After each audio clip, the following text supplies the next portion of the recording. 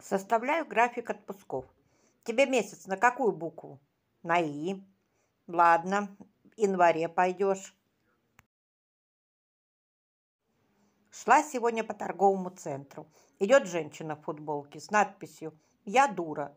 Вот, думаю, странная. Даже оглянулась. А сзади надпись «Ты тоже». Стоит мужик дома перед зеркалом, одевается, примеряет то один костюм, то другой. Все ему не нравится. Заходит жена. «Что делаешь?» «Ты знаешь, дорогая», – начал мужик, – «меня вызвали в налоговую инспекцию. И вот думаю, какой костюм лучше надеть. Если какой-нибудь дорогой, то могут возникнуть вопросы, откуда деньги на такую дорогую вещь.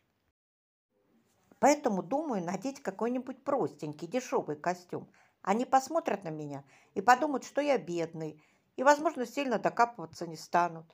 Жена улыбнулась и говорит, перед нашей свадьбой я спросила свою маму, какую ночнушку надеть в первую брачную ночь, шелковую или хлопковую, узорную или попроще.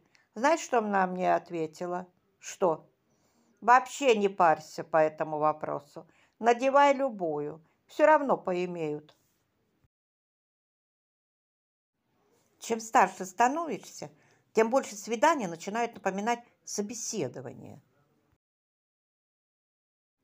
Согласно правилам нашей фирмы, вы никому не должны разглашать величину вашей зарплаты. Да я, собственно, и не собирался позориться. Чем меньше должность, тем заметнее твое отсутствие на рабочем месте.